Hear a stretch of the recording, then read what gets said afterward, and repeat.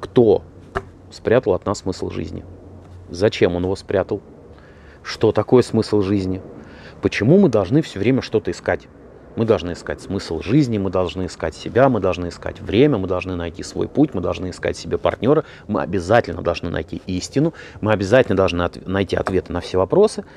И почему мы сами в этом теряемся? Почему, если кто-то что-то спрятал, почему, откуда мы знаем, что кто-то что-то спрятал, откуда мы знаем, что это спрятано именно то, что нужно, что раз нам надо искать срочно, быстрее мы бежим, быстрее паровоза, да? давайте сегодня с этим разбираться, разбираться вообще о такой вещи, как смысл жизни, поиска смысла жизни, вообще смысл его искать, нужно ли оно нам. И пойдем мы сейчас в лес, потому что вот этот чистокол деревьев, который мы сейчас увидим, собственно, он и является максимальным отражением наших мыслей в голове. У нас такой же чистокол мыслей, и мы вообще понятия не имеем, какая правильная.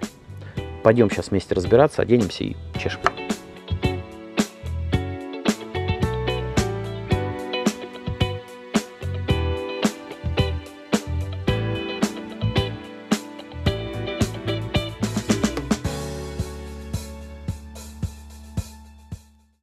Великое множество всего человечество придумало. И религии, и занятия спортом. Да чего только нет. Все придумано, все уже нами создано.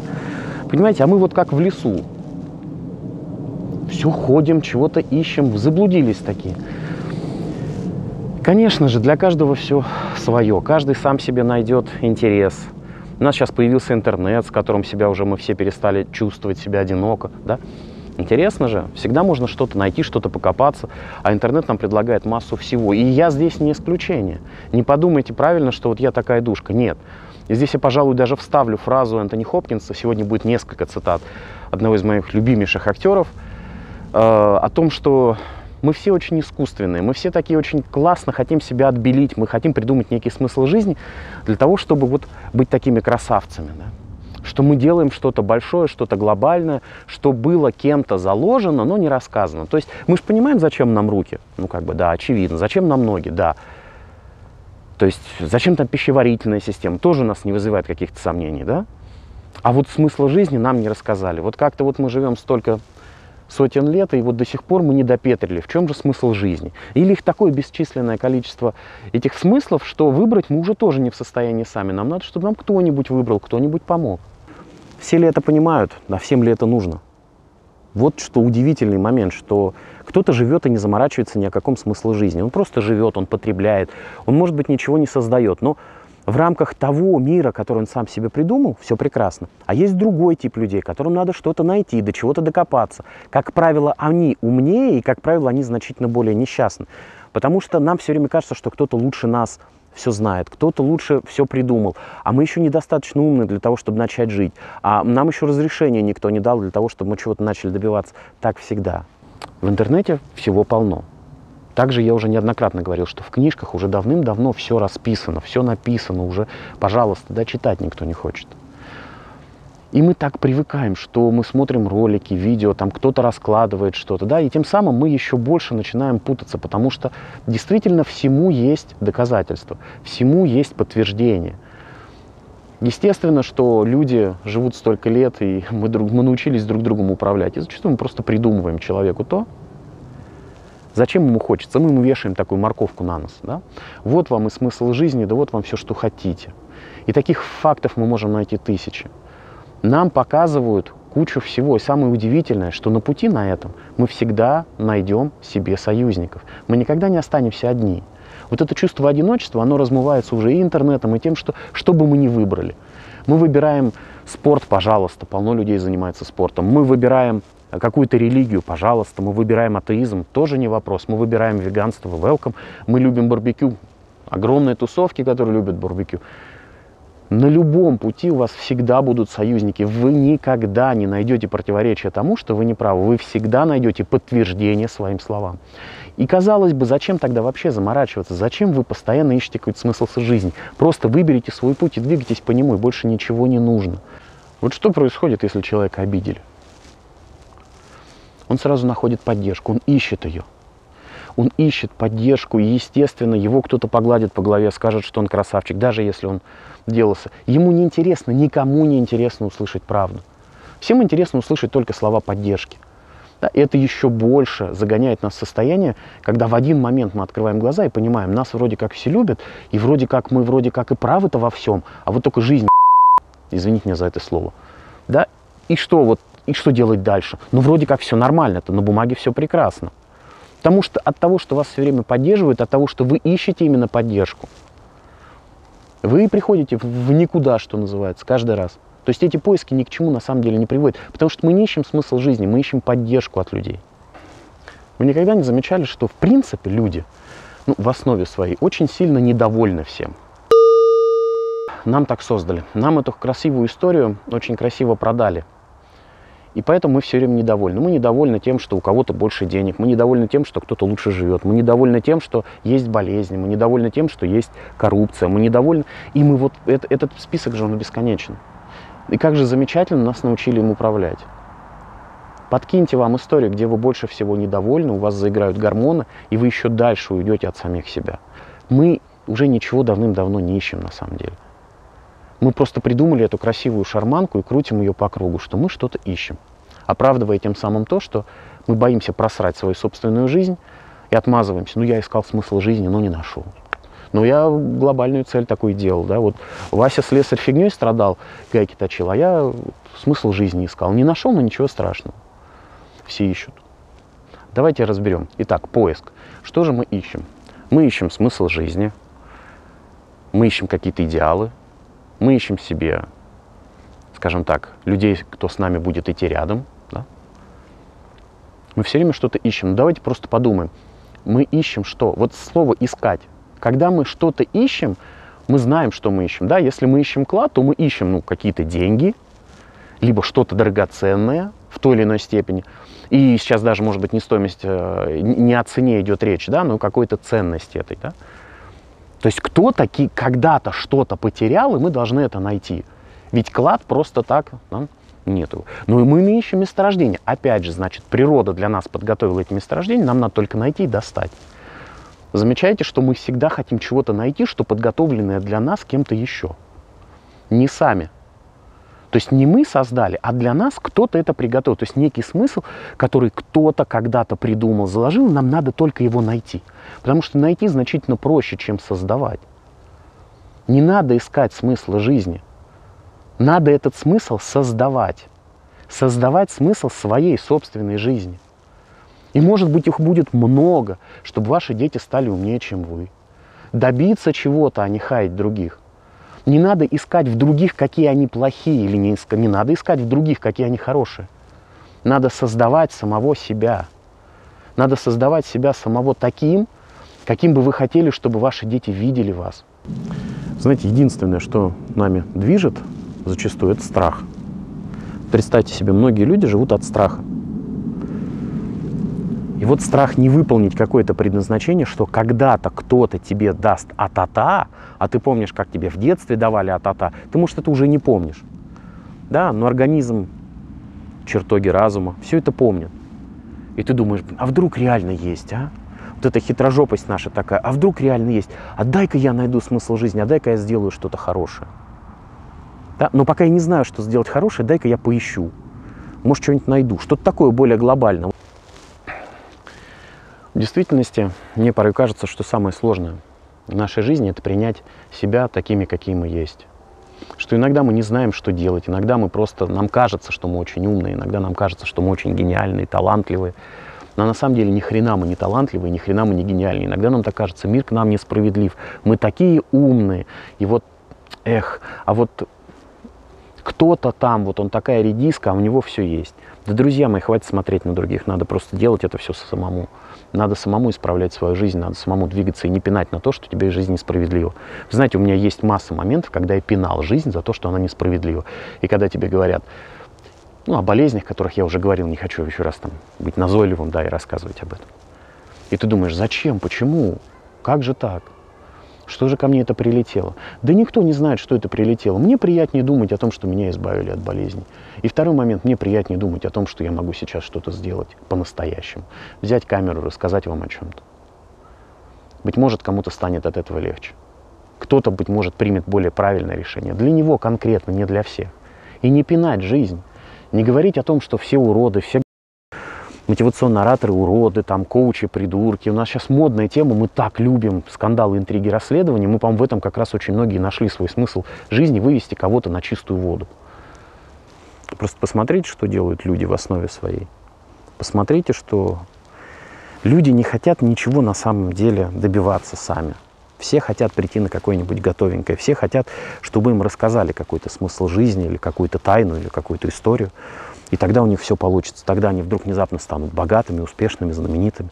Но вы посмотрите просто. Действительно, на сегодняшний день максимальное даже количество просмотров на Ютубе набирают ролики именно те, которые гласят, что вот в этом есть смысл жизни, вот в этом есть тайна. Я вам сегодня расскажу о том, чего там, как добился своих миллионов какой-нибудь там миллиардер, да, миллионов миллиардер. Вот я что же ляпнула, как добился кто-то чего-то, да, вы точно сможете. Эти все истории, вот вам не кажется, что это очередная такая замануха, вам показывают очередную хрень, и мы, ну, в основе своей люди все равно на это все ведутся, да. И те, кто поумнее, понимают это, создают этот невероятный поток людей, они находят друг друга, друг с другом начинают общаться, друг с другом, начинают друг другу начинают доказывать, что да-да-да, вот мы красавцы, они остальные олени. Потому что сложно признаться себе в том, что ты хренью занялся. Зачем? Когда можно что-нибудь такое придумать и спокойно двигаться дальше.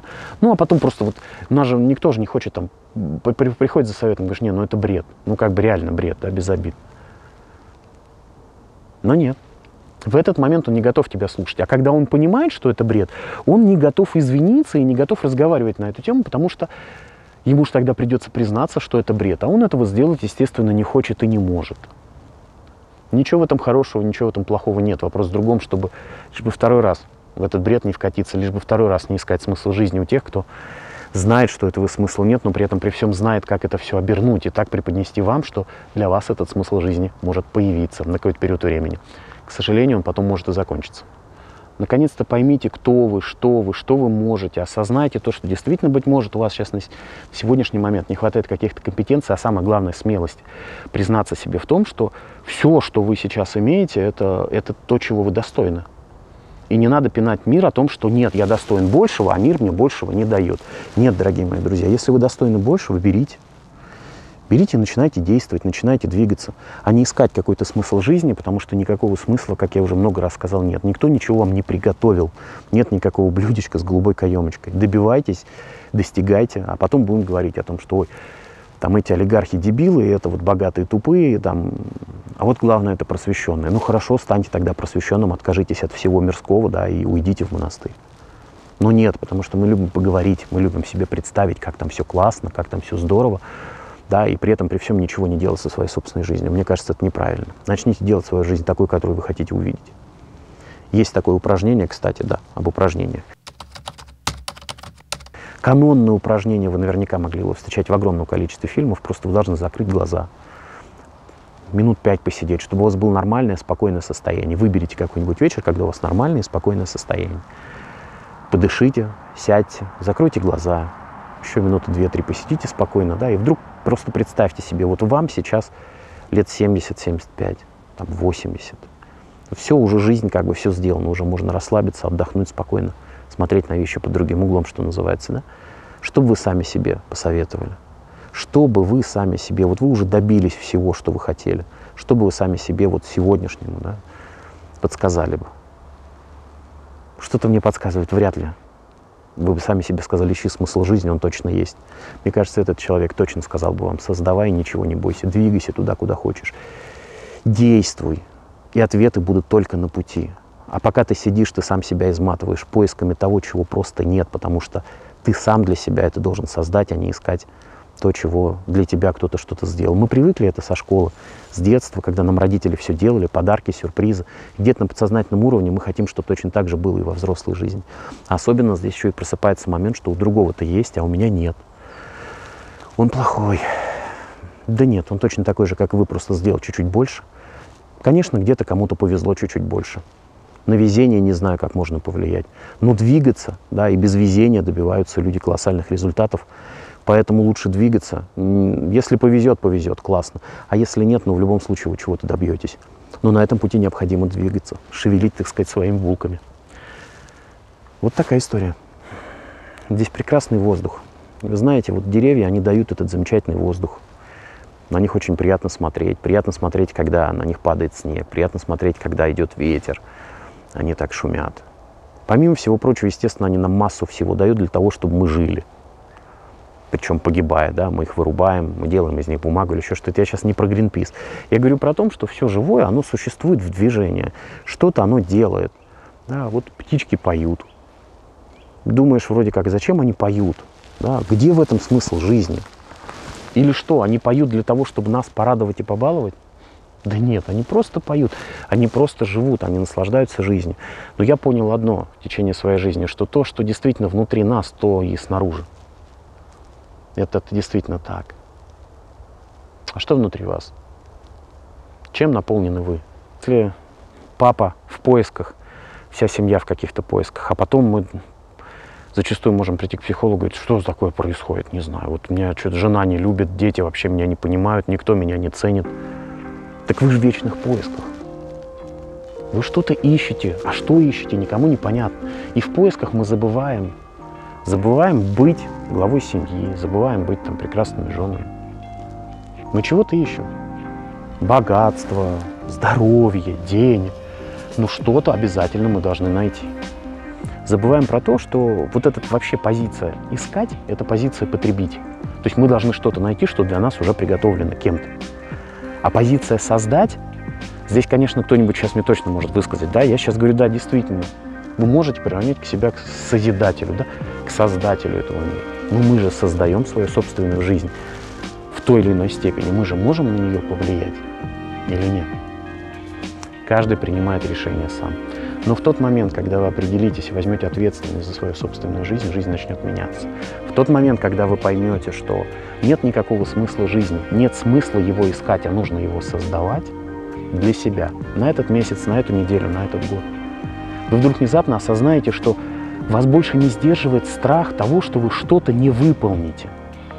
Вы просто начинаете действовать и создавать. Вас не сдерживает страх, что вы просрете свою жизнь, не найдя какой-то смысл жизни. В этот момент у вас рождается идея о том, что вы создаете. Что-то прекрасное, хорошо ли, плохо ли, но создаете. И это значительно лучше, чем ничего не делать, искать и становиться значительно более умным, не пускать эти знания для того, чтобы твоя жизнь становилась лучше, но при этом умничать из каждого там горшка. Да? Становитесь лучше. Все вы можете.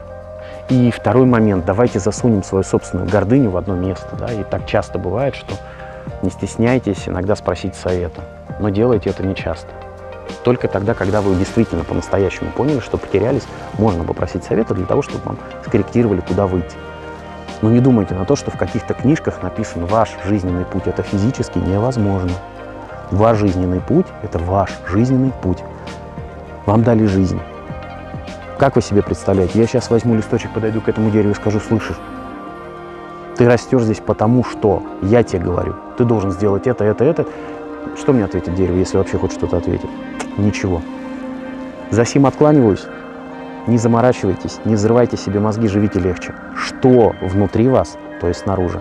Как только вы это поймете, как только вы начнете создавать уверенность, которая будет заряжать ваших друзей, знакомых, близких, когда люди вдруг внезапно поймут, вот он-то точно знает смысл жизни. В этот момент вы поймете, что вы поняли, что такое смысл жизни, и почему его не стоит искать, почему его нужно создавать. Создавать всегда прекрасно. Природа создала нам вот эти замечательные места. Да. Ты ходишь в них, кайфуешь.